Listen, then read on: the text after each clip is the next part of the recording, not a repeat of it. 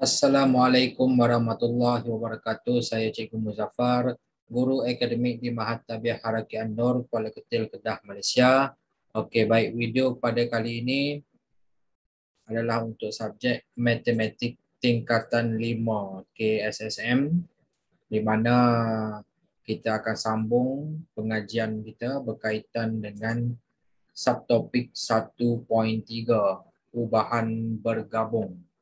Okey para pelajar boleh boleh rujuk buku teks matematik tingkatan 5 KSSM bermula muka surat 26 sehingga muka surat 31. Okey, baik.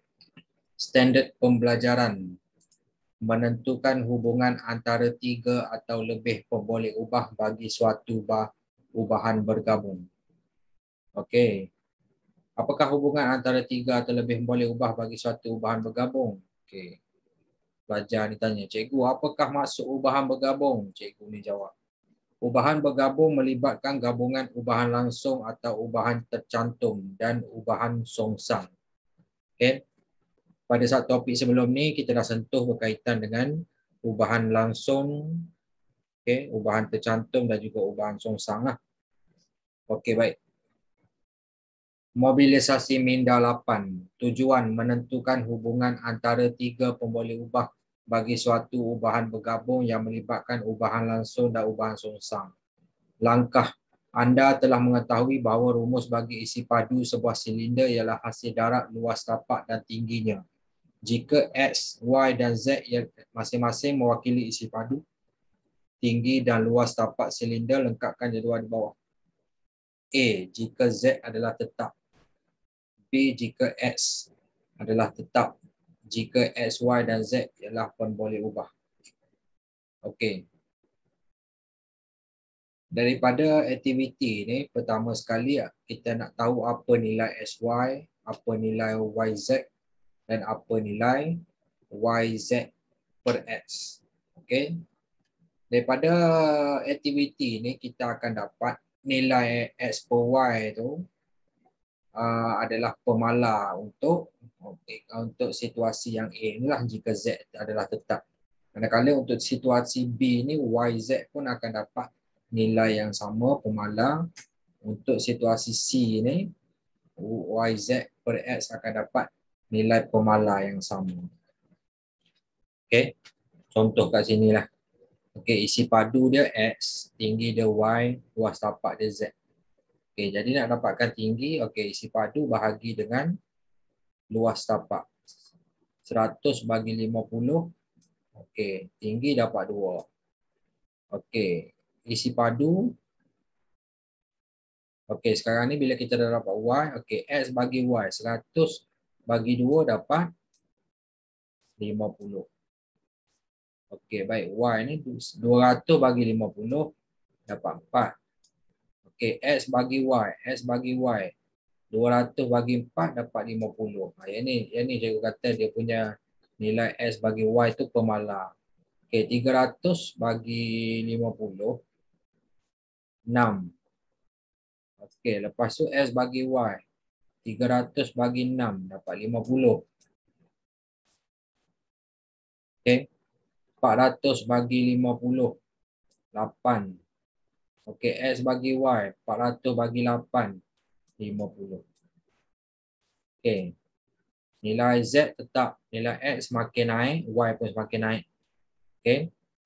X bagi Y, 50 tetap. Luas tapak yang sama. Okey, B tinggi. 120 bagi 40, dapat 3. Okey, YZ, Y darab Z. Y 3, Z 40, 100. 20. Okey, 120 bagi 60 dapat 2. Okey, Y darab Z, 2 darab 60 sama 120. 120 bahagi 80. Dapat 1.5 kat sini. Okey, seterusnya YZ 1.5 darab 80 dapat sama 120. 120 bagi 100 dapat tinggi dia 1.2. Okey, nilai YZ 1.2 darab 100 dapat 120. Okey, ini yang dia kata dapat nilai pemala sama. Okey. Ni pula 80 bagi 20 4. Okey. YZ darab X. Okey, YZ 4 darab 20 bagi X. X tu 80.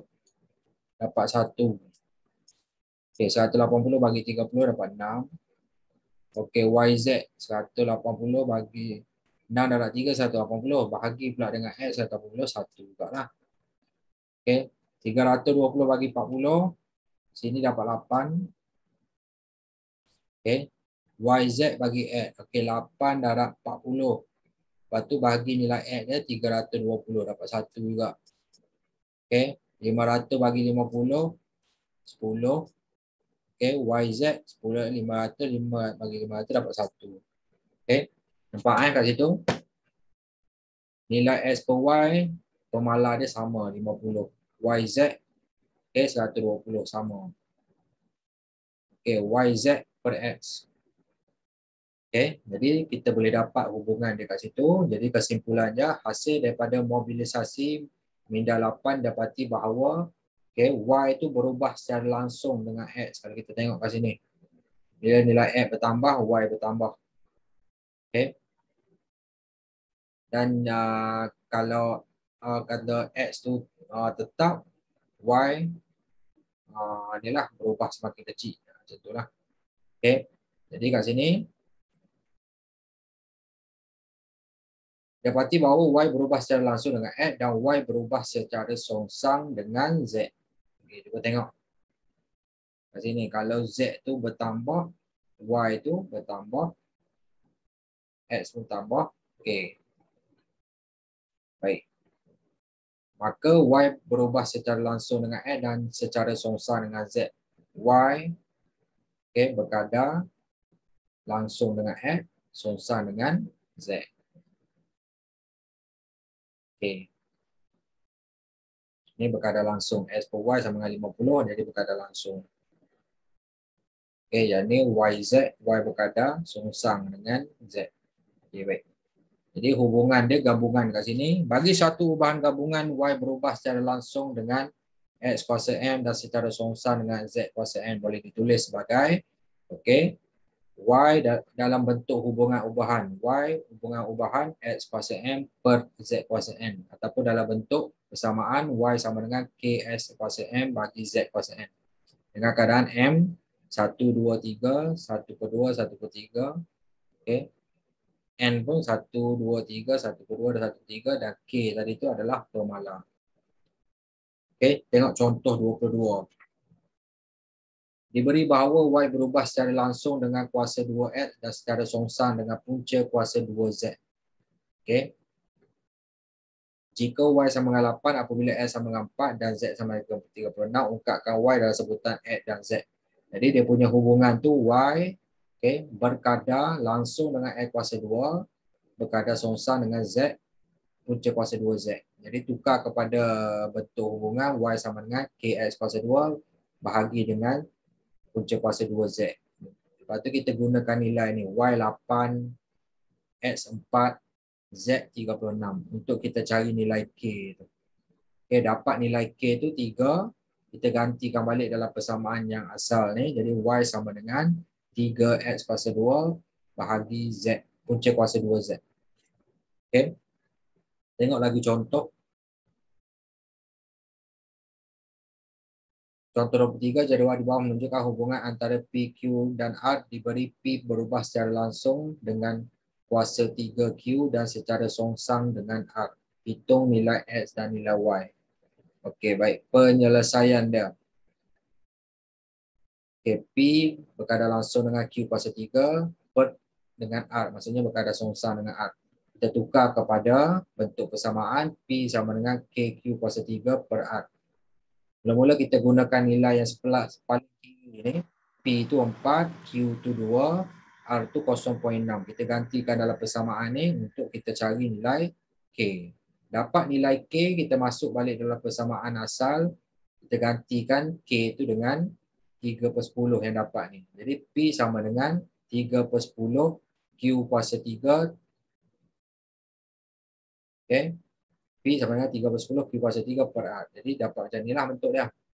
Lepas tu nak dapatkan nilai X sekarang ni gunakan dia punya persamaan yang sama. Cuma menggunakan nilai P itu 36, Q ni 6. Gantikan dalam ni. P 36, Q 6. Okay. Masukkan dalam tu kita akan dapat nilai R tu adalah nilai uh, nilai X yang kita nak cari tu. Dapat nilai X. Dan untuk yang dapatkan nilai Y kita gunakan persamaan yang sama. Kita gunakan P itu 0.081. Okay. Q tu Y yang kita nak cari. Manakala R 2.7. Masukkan nilai. Okay, kita akan dapat nilai Y tu. Okay, boleh cuba kira yang tu akan dapat lah. Okay, untuk lebih mahir berkaitan dengan uh, bentuk soalan yang melibatkan ubahan gabungan ni pada pelajar boleh buat latihan latih ke diri 1.3a. Okay, jawapan boleh rujuk di bahagian belakang buku teks. Okey, seterusnya standard pembelajaran menyelesaikan masalah yang melibatkan ubahan bergabung. Okay, contoh 24, tekanan PP Newton meter negatif 2 pada roda kereta sorong berubah secara langsung dengan jisim kereta sorong MKG dan secara songsang dengan luas permukaan roda dengan tanah L meter kuasa 2. Diberi bahawa tekanan roda ialah 45,000 Newton meter negatif 2 apabila jisim kereta sorong ialah 90 kg dan luas permukaan sentuhan roda dengan tanah ialah 0.02 meter kuasa 2. A, hitung nilai P itu nilai tekanan apabila M jisim dia 120 dan L tu uh, luas permukaan sentuhan roda dengan tanah 0.5. B, apakah yang boleh dilakukan supaya tekanan pada roda berkurangan jika jisim kereta sorong adalah tetap. Tengok penyelesaian dia kat sini. Memahami masalah P berubah secara langsung dengan M dan secara songsang dengan L. Apabila M sama dengan 90 dan L sama dengan 002, P sama dengan 45,000. Merancang strategi. Tentukan hubungan antara P dan M dan M dengan M dan L dalam bentuk persamaan. Kemudian gantikan nilai M sama dengan 120 dan L 0.5 ke dalam persamaan untuk menghitung nilai P. Okay.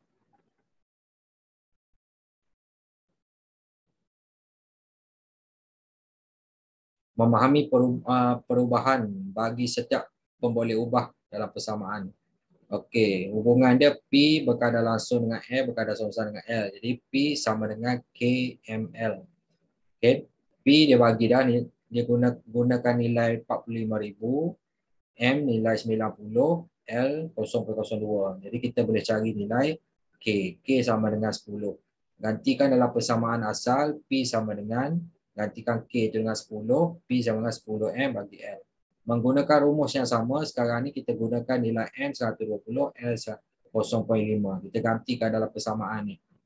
Okay, M itu 120, L 0.5. Jadi kita dapat nilai P itu 2400 Nm negatif 2. B, jika nilai M adalah tetap. Okay, kalau nilai M itu tetap, nilai P itu berkurang apabila L bertambah. P bertambah apabila L berkurang. Okay.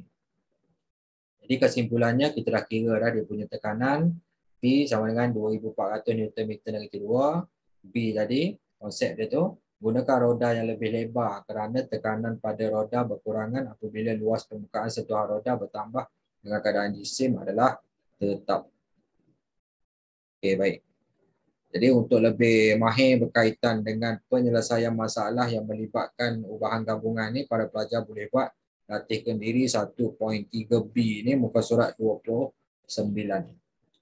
Jadi secara rumusan kesimpulannya kita dah sentuh ke semua bab satu ni ubahan di mana kita dah sentuh ubahan langsung, ubahan songsang, okay, ubahan tercantum ni di bawah di bawah ubahan langsung juga lah. Okay, dan uh, yang pada video kali ini ubahan bergabung. Dan akhir sekali kita dah sentuh ke semua standard pembelajaran untuk bab perubahan ini. Okay. Sekian. Terima kasih. Assalamualaikum warahmatullahi wabarakatuh.